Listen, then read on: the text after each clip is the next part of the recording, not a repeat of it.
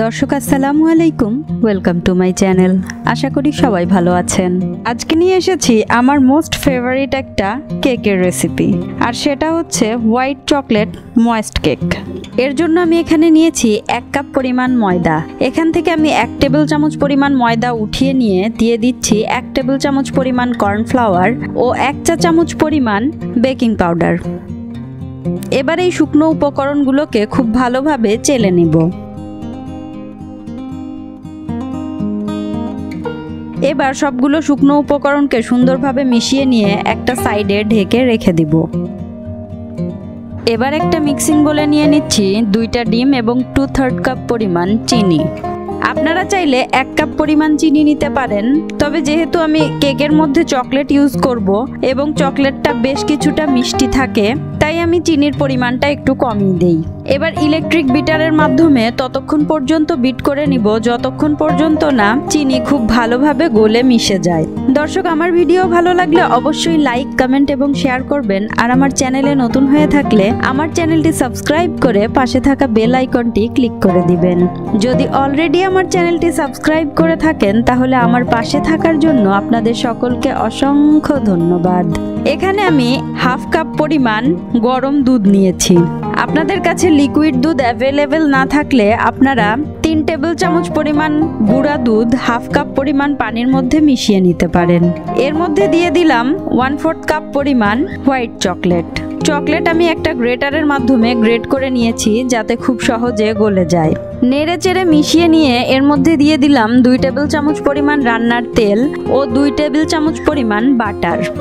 এবার নেড়েচেড়ে মিক্স করে নিব। যতক্ষণ পর্যন্ত না চকলেট বাটার সব কিছু খুব ভালোভাবে গলে মিশে যায়। আমি কোনো এসেন্স বা ফ্লেভার ইউজ করছি না। আপনারা চাইলে একটা চামচ পরিমাণ ভ্যানিলা এসেন্স অথবা ভ্যানিলা পাউডার ইউজ করতে পারেন।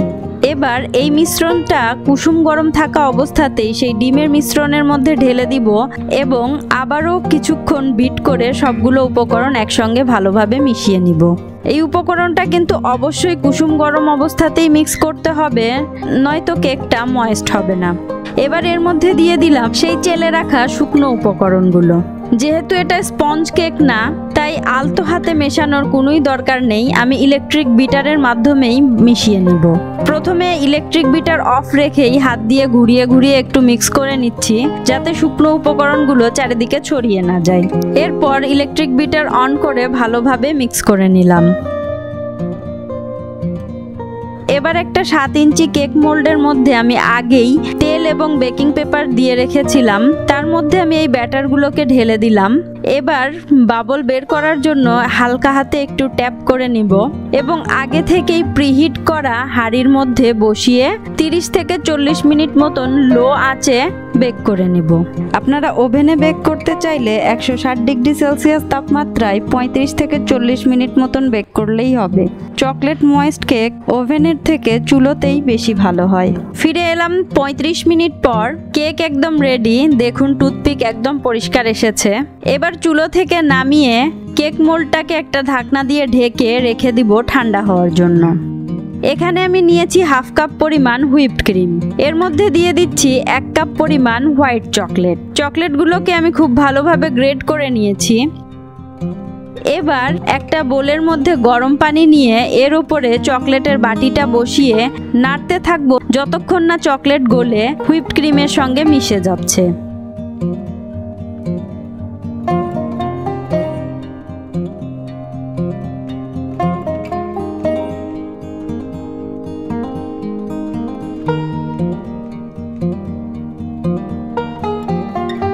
দেখুন চকলেট গলে গেছে, এবার একটা বাটিতে আমি হাফ কাপ পরিমাণ গরম পানি নিয়ে এর মধ্যে দুই টেবিল চামচ পরিমাণ চিনি মিশিয়ে নিচ্ছি।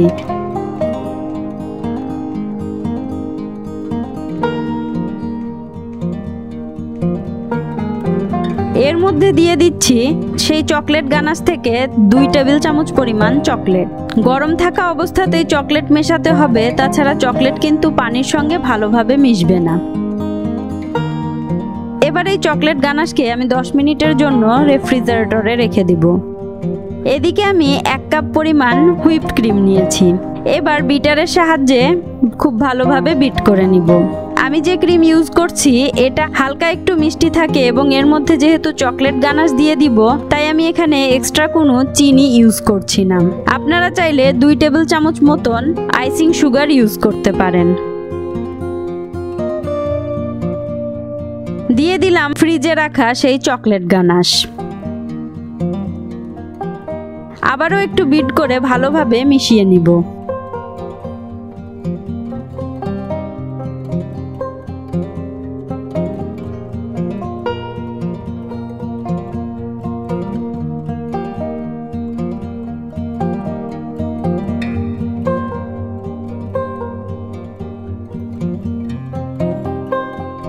এবার এটাকে ফ্রিজে রেখে দিব সেট হওয়ার জন্য।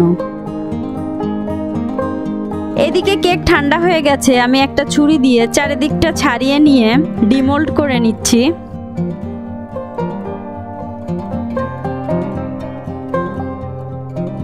দেখুন কেকটা কতটা সফট হয়েছে। এই চকলেট ময়েস্ট কেক কিন্তু অনেক বেশি সফট হয়, তাই আপনারা কেকটা খুবই আলতো হাতে স্লাইস করবেন। আমি কেকটা দুইটা স্লাইস করে নিয়েছি। একটা স্লাইস উঠিয়ে নিয়ে এর উপরে আমি সেই চকলেট মেশানো সুগার স্রাব দিয়ে দিচ্ছি।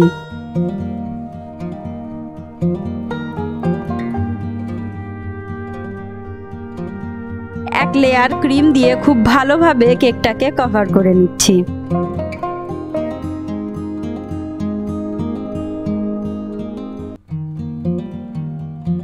ক্রিমগুলোকে কিছুটা সমান করে নিয়ে আরেক লেয়ার কেক এর উপরে বসিয়ে দিচ্ছি। উপর থেকে আরও কিছুটা সুগার সিরাপ দিয়ে দিলাম এবং তারপর আবারও ক্রিম দিয়ে খুব ভালোভাবে কেকটাকে কভার করে নিচ্ছি।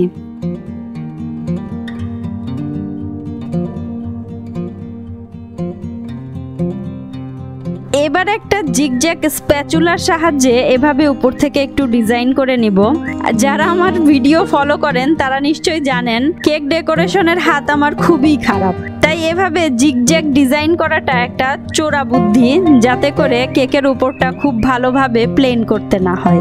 সাইড দিয়ে একটু ফুল করে নিলাম, এবার কেকটাকে একটু কেটে দেখাচ্ছি। এই কেকটা কতটা মজার হয় খেতে, আসলে আমি বলে আপনাদেরকে বোঝাতে পারব না।